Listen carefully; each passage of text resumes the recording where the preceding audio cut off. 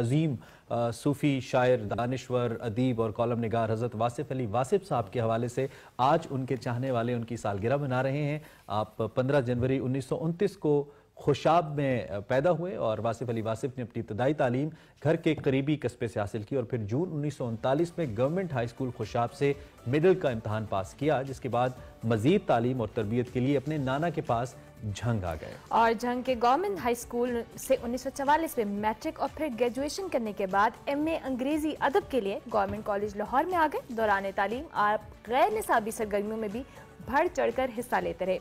यही वजह थी कि 1948 में कॉलेज के बेहतरीन हॉकी प्लेयर का एजाज और अवार्ड ऑफ़ द ईयर से भी इनको नवाजा गया। इसके साथ साथ बात की जाए तो सितंबर 1954 में वेस्ट पाकिस्तान पुलिस ट्रेनिंग का एजाजी सर्टिफिकेट भी हासिल किया। और यही नहीं, बल्कि आपने ज़माना तालब इल्म में कायद आज़म मोहम्मद अली जना की जेर निगरानी अमृतसर में मुस्लिम लीग के लिए भी काम किया और इसके बाद तालीम मुकम्मल की और सिविल सर्विसेज़ का भी इम्तहान पास किया। मगर सरकारी नौकरी को ज्वाइन करने की बजाय आपने दरसो तदरीस का आगाज़ कर दिया। बिल्कुल, और लाहौर इंग्लिश कॉलेज के नाम से अपना एक इदारा बनाया। लाहौर इंग्लिश कॉलेज कॉलेज की हम अगर बात करें तो यहाँ दरसो तदरीस का एक मरकज बनाने के साथ ही हफ्तावार अदबी नशस्तों में शिरकत करने लगे। जहाँ उर्दू और पंजाबी के मारूफ शोरा कराम भी शामिल होते थे। आपको तसव्वुफ से ज़माना तालब इलमी में ही खासा लगाव था और यही वजह थी कि आपने दरस तदरीस के साथ शायरी भी लिखना शुरू की।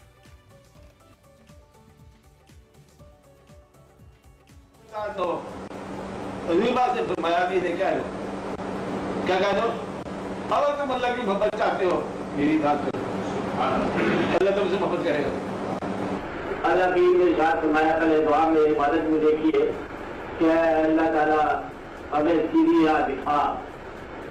सीधा रास्ता, यानी कि उन लोगों की राह जिन पर तेरा इनाम है। और दूसरे लोग छोड़ दिए जाए। गोया के कुछ लोग हैं जिन पर अल्लाह ताला की तरफ़ से, अल्लाह ताला के ही अल्फाज में इनाम हुआ। अब राज एक और है। कभी पैसे दे के बात से नुकसान हो जाता है कभी पैसा लेके फ़ायदा कर लेते पहले भी काम है। वासिफ अली वासिफ साहब की लिखी नातिया शायरी मुनफरद असलूब की हामिल थी। वहीं आपकी गुफ्तगु दिलों पर ऐसा असर करती थी कि शुरा को महसूर कर देती थी। आपने इसी दौरान तस्वु पर लेक्चर देने के साथ साथ अखबार में भी कॉलम लिखने का आगाज़ किया। इन्हीं दिनों आपने तस्वु के मौजू पर मुकालमे लिखना शुरू किए और अशफाक अहमद हनीफ रामे से आपकी जहनी अमांगी बदौलत ऐसी थी कि हम जब भी पढ़ते हैं अब भी जब उनको देखते हैं तो तसव्वुफ़ की एक नई सिंफ हमारे सामने आती है। इन्होंने बेसिकली एक जदीद तसव्वुफ़ मुतारफ़ करवाया और इनका कहना था कि तजदीद से अलग नहीं है वो इल्म जैसे हम तसव्वुफ़ कहते हैं। इस पर हम इन डिटेल जितनी भी बात करें कम है बहुत बड़ी शख्सियत वासिफ अली वासिफ साहब को ज़रूर पढ़िए आपकी ज़िंदगी बदलेगी इससे।